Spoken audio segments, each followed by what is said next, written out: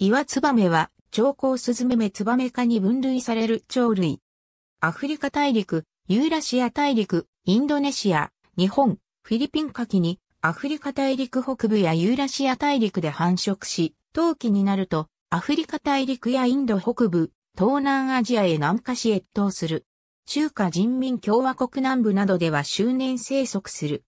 日本には、アシュイワツバメが繁殖のために、九州以北に飛来するが、西日本では、渡来地は局地的である。温暖な地域では越冬することもある。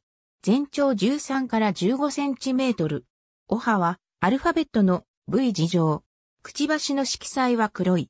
あとは、白い羽毛で覆われる。全長13センチメートル。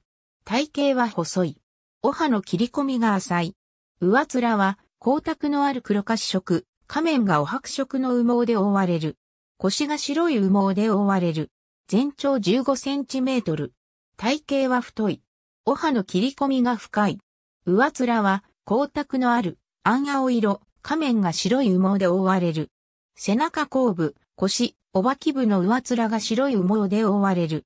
足イはツバメを独立種とする説もあり、その場合には種 D アービカの和名は西岩ツバメになる。平地から山地にかけて生息する。食性は動物食で昆虫を食べる。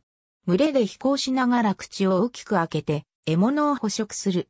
繁殖形態は卵生。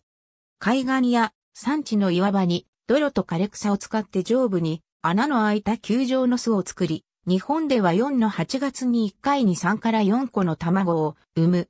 岩場に営走することが和名の由来。集団で営走する。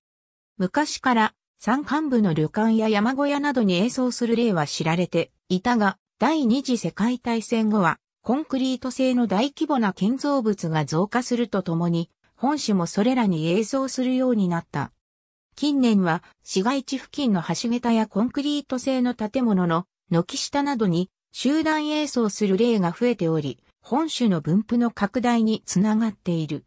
巣作り中の岩つばめ、小竹にて、ありがとうございます。